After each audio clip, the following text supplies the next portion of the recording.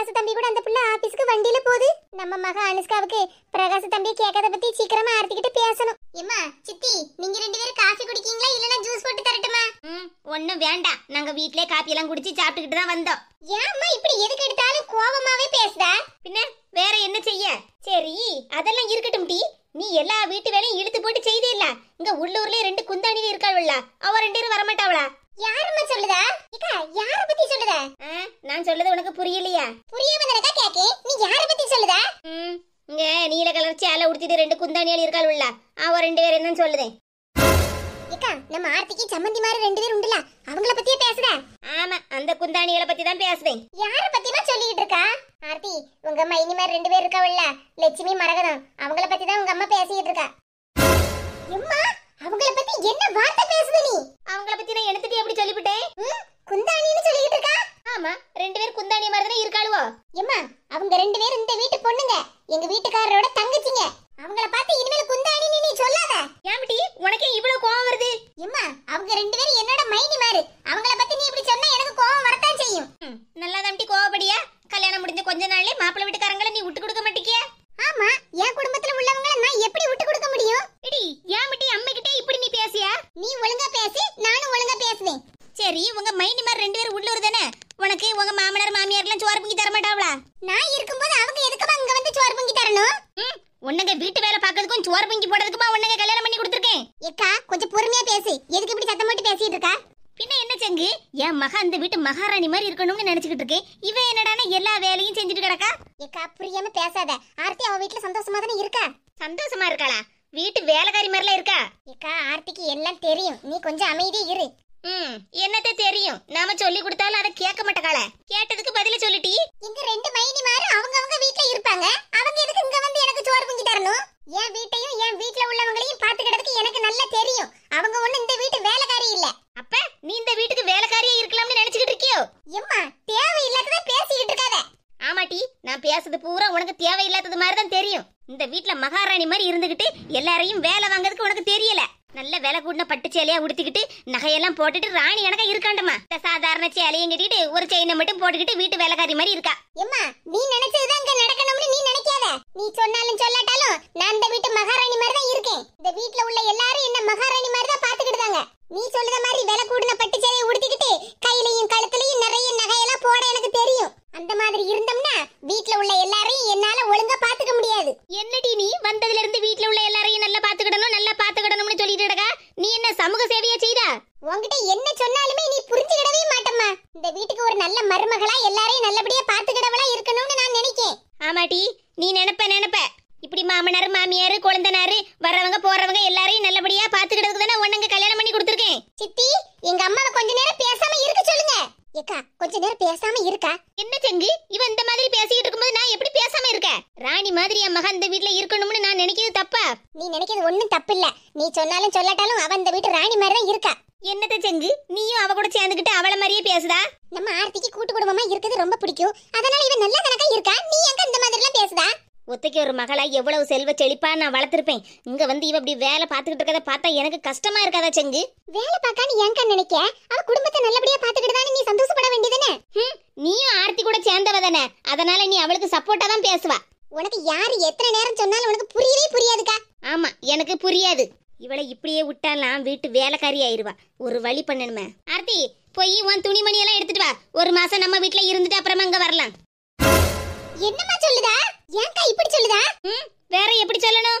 துணிமணி எல்லாம் எடுத்துட்டு வா வந்து ஒரு மாசம் இருந்துட்டு போன்னு சொல்லுதா ஆமா நம்ம வீட்ல வந்து ஒரு மாசம் இருந்துட்டு போன்னு சொல்லுதேன் எடி நீ தான் ரெண்டாவது மறுபடி வரல அதனால தான் கூப்பிடுதேன் வந்து ஒரு மாசம் வந்து இருந்துட்டு போ ரெண்டாவது மறுபடியும் கூப்பிடுறது சரிதான் அதனால என்னால ஒரு மாசம் அங்க வந்து இருக்க முடியாது என்னது ஒரு மாசம்லாம் நம்ம வீட்ல வந்து இருக்க முடியாதா ஆமாம்மா என்னால ஒரு மாசம்லாம் நம்ம வீட்ல வந்து இருக்க முடியாது மறுவீடுக்கு நம்ம வீட்டுக்கு கூப்பிட்டா வரேன்னு சொல்லணும். வர முடியாதுன்னு சொல்லக்கூடாது. இப்ப எப்படிம்மா என்னால நம்ம வீட்டுக்கு வர முடியும்? எங்க வீட்டுக்காரரு லீவு முடிச்சு இப்பதான் ஆபீஸ்க்கு போயிருக்காரு. இனிமேல் அடிக்கடிலாம் அவரால ஆபீஸ்க்கு லீவு போட முடியாது. அவரு வரட்டா என்ன? நீ வா துணிமணி எல்லாம் எடுத்துட்டு வா. ஏக்கா என்ன பேச்சு பேசியா நீ? ம் தமிழ்ல தானே பேசுறேன். புரியலையா? மறுவீடுன்னு கூப்பிட்டுக்கிட்டு மருமகன் வராண்டமா? மகளை மட்டும் கூட்டிட்டு போலாம்னு பாக்கியோ? அவர்தான் ஆபீஸ்க்கு லீவ் எல்லாம் போட முடியாதுன்னு சொல்லுதா இல்ல? அப்புறம் என்ன? ஏக்கா மறுவீடுனா மகனையும் மருமகளையும் ஒன்னாதான் கூட்டிட்டு போகணும் மருமகன் வரலன்னா அதுக்கு நான் என்ன பண்ண முடியும் என் மகளை நான் மறு வீட்டுக்கு கூட்டிட்டு தான் போவேன் ஹம், என்னத்த சொன்னாலும் புரியாத ஜென்மம். என்ன ஆர்த்தி? இப்படியே நின்னுகிட்டே இருக்கா? போய் துணி மணியெல்லாம் எடுத்துட்டு வா. நம்ம வீட்டுக்கு கிளம்புவோம். ஏம்மா நீ சொன்ன நேரத்துக்கெல்லாம் என்னால வர முடியாது. என் குடும்ப சூழ்நிலையும் நான் பார்க்கணும். எங்க மாமியார் மாமனார்லாம் நான் தான் பார்க்கணும். அவங்களெல்லாம் ஒத்தையில விட்டுட்டு இப்ப மறுபடியும் வர முடியாது. என்ன தட்டி நீ?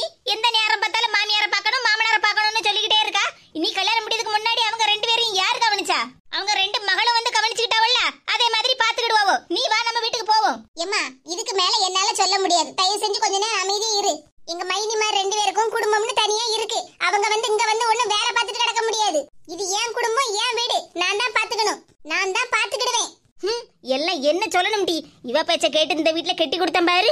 என் பேச்ச கொஞ்சமாவது மதிக்காளா என் மகா? அவ குடும்பமா பெரிய குடும்பம். என்னன்னு போட்டு இதுக்கு மேல நம்மளால சொல்ல முடியாது. ராணி மாதிரி இவள வாழ வைக்கலாம்னு நினைச்சேன். இவ என்னடான்னா நான் வீட்டு வேலைக்காரியா தான் இருப்பேன்னு சொல்லுதா. இதுக்கு மேல நான் என்னத்த சொல்ல? சரி வா சங்கு. நாம வீட்டுக்கு போவோம். இதுக்கு மேல ஆர்த்தி கிட்ட ஒண்ணும் பேச முடியாது. ஆர்த்தி தான் உன்கிட்ட பேச முடியாது. சரி போயிட்டு வரோம். இருமா மத்தியானம் சாப்பிட்டுட்டு போலாம். வேண்டாம் வேண்டாம். நாங்க வீட்ல போய் சாப்பிட்டுக்கிடுதோம் சாயங்காலம் உங்க அப்பா வந்து உன்னை பார்க்க வரேன்னு சொல்லியிருக்காரு. சரிம்மா நான் அப்பா கிட்ட போன்ல பேசிக்கிடுதேன். சரி சரி. சரிம்மா ஆர்த்தி உங்க அம்மா ஏதாவது சொன்னான்னு கோவப்படாத. ஒத்திக்கு ஒரு மகளை வளர்த்து இப்படி எல்லா வீட்டு வேலையும் பார்க்கலன்னு அவளுக்கு கொஞ்சம் கஷ்டமா இருக்கு. வேற ஒண்ணும் இல்ல. சித்தி என் வீட்டு வேலையை தானே நான் நீ சொல்லது சரிதான் மக்கா. உங்க அம்மைக்கு புரியாதுல்ல? உங்க மாமியார் இன்னும் தூங்கிட்டு தானே இருக்காங்க. ஆமா சித்தி. கால் வலிக்குன்னு சொன்னாங்களா? அதான் கொஞ்சம் படுத்திருக்காங்க. ஆ, சரி மக்களே. நாங்க வந்துட்டு போனோம்னு உங்க மாமியார் கிட்ட சொல்லு என்ன? ஆ, சரி சித்தி சொல்லுதேன் மத்தியானம் இங்க இருந்து சாப்பிட்டுட்டு போங்க சித்தி. வீட்டுல கொஞ்சம் வேலை கிடக்கு மக்கா. நாங்க இன்னொரு நாளைக்கு வரோம். சித்தி அடுத்த டைம் வரும்போது அனுஷ்காவையும் கூட்டிட்டு வாங்க. ஆ சரி மக்கா. கூட்டிட்டு வரேன். பார்த்து போங்க சித்தி. ஆ சரி மக்கா. ஆட்டோல தான் போறோம். ஆ சரி சித்தி போயிட்டு வாங்க. நல்லா வாய்க்கு ருசியா பொங்கி எடுத்து நல்லா சாப்பிடுங்க மக்கா. சரி சித்தி. இந்த காலத்துல இப்படி ஒரு பிள்ளையான்னு இருக்கா ஆர்த்தி. அவ குடும்பத்தை எவ்வளவு பொறுப்பா நல்லபடியா பாத்துக்கிட்டுதா? அது எங்க அக்காவுக்கு புரிய மாட்டேங்கு ம் அதுக்கும் ஒரு காலம் வரும். மக்கா போயிட்டு வரே. ஆ சரி சித்தி போயிட்டு வாங்க. ஆபீஸ்க்கு வேற நேரம் பிரகாஷும் கிளம்பிட்டாங்க. சரி ஏதாவது ஆட்டோ வருதான்னு பார்க்கலாம். ஆட்டோலயே போயிடலாம் இந்த ஆர்த்திக்கு நம்ம சொல்றது கொஞ்சமாவது புரியுதான்னு பாத்தியா செங்கு? அவ இஷ்டத்துக்கு பேசிட்டு இருக்கா. ஏக்கா ஆர்த்தி அந்த வீட்ல சந்தோஷமா தான் இருக்கா? நீ எதுவும் மனசுல போட்டு குழப்பிக்காத. கூடிய சீக்கிரத்துல ஆர்த்தி என் பேச்ச எப்படியும் கேப்பா. செங்கு அங்க நிக்கக்கூடிய பிள்ளை நம்ம ஆர்த்தி வீட்டுக்கு கீரை கொண்டு வந்துச்சுல அந்த பிள்ளை தானே? ஆமாக்கா அந்த பிள்ளை தான் நிக்கி. பிரகாஷ் கூட வண்டியில போகாம இப்படி ரோட்ல நிக்கா என்னன்னு தெரியலையே. வா போய் என்னன்னு கேப்போம். ஏக்கா பேசாம இருக்கா. அந்த பிள்ளை அது பாட்டுக்கு நிக்கி. நமக்கு என்ன? ம், ம், அப்படியெல்லாம் சும்மா விட்டுறப்படாது தேவையில்லாத வேலையை தான் எங்க அக்கா பாப்பா. ஏமா இந்த பிள்ளை? யாரு நம்மள கூப்பிடுதாங்க? அடடே நீங்களா? வாங்க வாங்க. ம், வாங்க வாங்கய்யா. இது என்ன உங்க வீடா? வாங்கன்னு கூப்பிடுதா? இது ரோடு. இல்ல என்ன கூப்பிட்டீங்கல்ல? அதான் வாங்கன்னு சொன்னேன். ம் நல்லா சொன்ன போ. சரி ஆபீஸ்க்கு போறதுக்கு நேரமாயிட்டு பிரகாஷ் கூட வண்டியில என் மகன் அனுப்பி விட்டா இப்படி ரோட்ல நிக்கா வண்டியில போலையா? இல்லங்க நான் வரதுக்குள்ள பிரகாஷ் வண்டி எடுத்துட்டு கிளம்பிட்டாங்க. அதனால நான் அவங்க கூட வண்டியில போகல. எப்பாடா இப்பதான் எனக்கு நிம்மதியா இருக்கு. இந்த பிள்ளை பிரகாஷ் கூட வண்டியில போகல. பழக்கம் வழக்கத்தை எல்லாம் ஒரு அளவோட வச்சுக்கணும். என்ன? நீங்க என்ன சொல்லுதீங்க? எனக்கு ஒண்ணுமே புரியல. ஆமா உனக்கெல்லாம் எங்க புரியும்?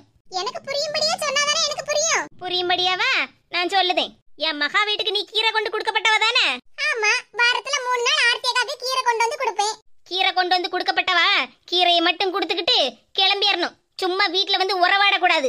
ஆமா நான் கீரையை காலையில கொண்டு வந்து கொடுத்துக்கிட்டு ஆபீஸ்க்கு கிளம்புவேன். ஆர்த்திய அக்கா சொக்கான்லாம் கூப்பிட்டுக்கிட்டு உறவு கொண்டாடிக்கிட்டு இருக்காத. என்னோட வயசுல மூத்தவங்க அதனால அக்கான்னு தானே கூப்பிட முடியும்? அது சரிதான். வயசுல மூத்தவங்கள அக்கான்னு கூப்பிடுறது சரிதான். ஆனா அத்தோட நிப்பாட்டிக்கிடணும். அந்த வீட்டுக்கு மருமவளாவணும் அப்படி இப்படின்லாம் எண்ணமே வந்துடப்படாது. ஏன் இப்படி எல்லாம் பேசுவீங்க ஏக்கா அந்த பிள்ளைய பார்த்து நீ ஏன் இப்படி எல்லாம் பேசுதா? இந்த பிள்ளைகிட்டலாம் இப்படிதான் பேசணும். அப்பதான் சரியா வரும். என் மகா சொன்னான்னு கேட்டுக்கிட்டு பிரகாஷ் கூட வண்டியில போறதுக்கு அப்படியே ஃபாஸ்டா வந்தா. ஆபீஸ்க்கு போறதுக்கு நேரம் ஆகுதுல்ல. அதனால தான் அவங்க கூட வண்டியில போனா சீக்கிரம் போயிடலாம்னு தான் வந்தேன். ஆபீஸ்க்கு போகணும்னா பஸ்ல போகணும். இல்லைன்னா ஆட்டோல போகணும். அப்படியும் முடியலையா? நடந்தே போகணும். அதை விட்டுட்டு பிரகாஷ் கூட வண்டியில போனேன் அப்படி இப்படின்னு ஏதாவது நான் கேள்விப்பட்டேன். அப்புறம் இருக்கு உனக்கு.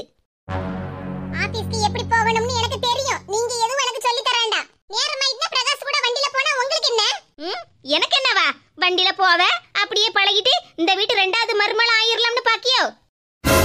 ஏக்கா ஏன் இப்படி எல்லாம் பேசியா? கொஞ்ச நேரம் பேசாம இரு. உனக்கு புரியாது செங்கு. இந்த பிள்ளைகிட்ட எல்லாம் இப்படிதான் பேசணும். என் மகளுக்கு கொழுந்தம் பொண்டாட்டியா வர்றதுக்கெல்லாம் ஒரு தகுதி வேணும். இன்னைக்கு நீ பிரகாஷ் கூட வண்டியில போகல.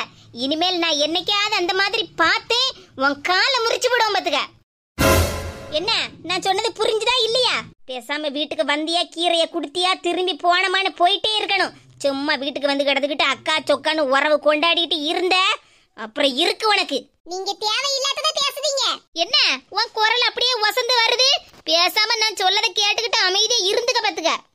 நீங்க சொன்னதை கேட்டு அப்படியே நடந்துக்கிறதுக்கு நீங்க வச்ச ஆளு நான் இல்ல வயசுல பெரியவங்க சொல்லதை கேட்டுக்கிட்டு நடந்துக்கிட வேண்டியதுதான் அதுக்குன்னு நீங்க இஷ்டத்துக்கு பேசுவீங்க அதையெல்லாம் என்னால கேட்டுக்கிட்டு இருக்க முடியாது நான் ஒன்னும் இஷ்டத்துக்கு பேசல நான் சொல்லது எல்லாம் கரெக்டா தான் இருக்கும் வயசுல பெரிய மனுஷி பேசுற மாதிரியே பேசுவீங்க ஆர்த்தி அக்காவோட அம்மாங்கிற மதிப்புல தான் நான் இவ்வளவு நேரம் பேசிக்கிட்டு இருந்தேன் என்னமோ பிரகாஷ் கூட வண்டியில போகாத அப்படி இப்படின்னு சொல்லிட்டு இருக்கீங்க ஆமா நீ பிரகாஷ் கூடலாம் வண்டியில போக கூடாது ஏன் பிரகாஷ் கூட வண்டியில போனா உங்களுக்கு என்ன போக கூடாதுன்னா போக கூடாது அவ்வளவுதான் உங்க பேச்ச ஆர்த்தி அக்காவே கேட்க மாட்டேங்காங்க நான் என்னத்துக்கு கேட்கணும் நான் அப்படியே பிரகாஷ் கூட வண்டியில போவேன் அப்புறம் என்னமோ சொல்றீங்க நான் பிரகாஷ் கூட வண்டியில போய் அப்படியே பழகி நான் அவங்களே கல்யாணம் பண்ணிக்கிடுவேன்னு அப்படித்தான் நினைப்ப. ஒன்னு சொல்லுங்க கேட்டுக்கங்க. எனக்கு இது வரைக்கும் பிரகாஷ் மேல அந்த மாதிரி நினைப்பு ஒரு துளி அளவு கூட எனக்கு வந்ததில்ல. எங்களுக்கும் அவங்க வீட்டுக்கு இப்ப பழக்கம் இல்ல. எங்க பாட்டி காலத்துல இருந்தே பழக்கம். ஆர்த்தி அக்காவை நான் என் மனசார அக்கான்னு கூப்பிடுவேன். ஆனா அந்த வீட்டுக்கு நான் ரெண்டாவது மருமகளா வரணுங்கிற உறவு முறையில நான் அக்கான்னு கூப்பிடல. ஆனா நீங்க இப்ப பேசுற பேச்ச பார்த்தா எனக்கு அவங்க வீட்டு ரெண்டாவது மருமகளா வரணுங்கிற எண்ணத்தை வர வச்சிடாதீங்க. கீரைக்கார பிள்ளை தானே? நம்ம பேச்ச கேட்டு கொஞ்சம் அடங்கி இருப்பான்னு பார்த்தா என்ன பேச்சு பேசுதா ஏக்கா இது உனக்கு தேவையில்லாத வேலை. அந்த பிள்ளைக்கு பிரகாஷ் நினைப்பு வரட்டால நீயே வர வச்சிருவ போலுக்க. எட்டி செங்கு நான் ஆர்த்திக்கு அம்மாங்கிற அதிகாரத்துல கொஞ்சம் பேசலாம்னு பார்த்தா இந்த போடு போடுதட்டி இந்த பிள்ளை. ஒரு நேரமாவது உன் வாயை வச்சுக்கிட்டு சும்மா இருக்கிய. எந்த நேரமும் தேவையில்லாத பேச்சுதான். உங்க அதிகாரத்தெல்லாம் வேற யார்கிட்டயாவது வச்சுக்கிடுங்க. என்கிட்ட வேண்டாம். ஹம். ஆர்த்திகா அவங்க அம்மா பேச்ச ஏன் கேட்க மாட்டாங்கன்னு இப்பதான் புரியுது. ஆட்டோ நில்லுங்க. இந்த பிள்ளை நாம சொல்லதையெல்லாம் கேட்டு ஆமா சாமி போடும்லாம் நினைச்சேன். நம்மள இப்படி வாங்கு வாங்குன்னு வாங்கிட்டு போகுது? இனிமேலாவது உன் திருவாய கொஞ்சம் அடக்கி பேசு.